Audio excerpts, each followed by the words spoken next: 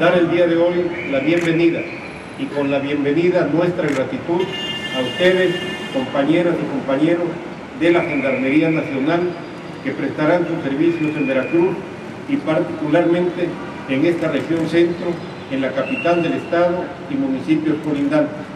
Han dejado a las personas queridas, a sus seres queridos, para venir a servir a los veracruzanos.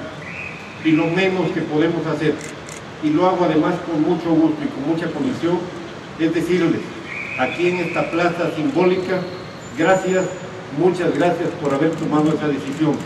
En Veracruz son bienvenidos. En Veracruz se reconoce su trabajo, se reconoce su esfuerzo. En 2016 tuvimos el crecimiento más alto en la incidencia delictiva en nuestro estado. Solo el delito de homicidio se multiplicó 122% de crecimiento en un año. En esta zona, en la zona de Jalapa, hemos tenido una constante que efectivamente va cayendo, se va abatiendo, pero que se requiere de una mayor presencia.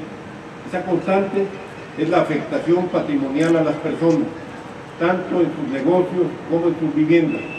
Es el riesgo también de que las personas sean asaltadas en la calle y les sea robado su automóvil.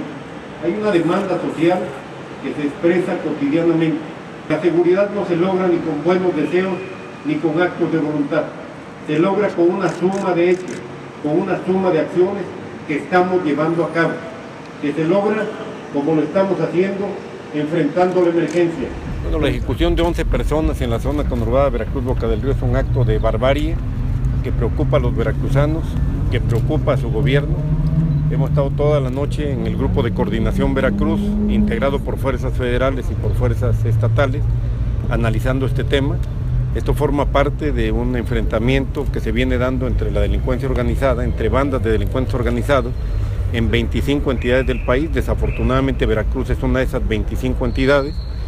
Eh, a partir de que inició el año, se han recrudecido estos enfrentamientos. Hemos tenido un número muy importante de homicidios vinculados a ejecuciones. Prácticamente el 70% o más de los, de los homicidios que se cometen en Veracruz desde el mes de enero están vinculados a esta lucha, a esta batalla entre grupos de delincuencia organizada, así están clasificados incluso. Muchas ¿Son gracias. 11 los cuerpos, gobernador? 11. 11. Oiga, ¿de esto le declaran la guerra mujeres. al gobierno del Estado? No, no es una guerra contra el gobierno del Estado, es un enfrentamiento entre cárteles de la delincuencia organizada. Gobernador,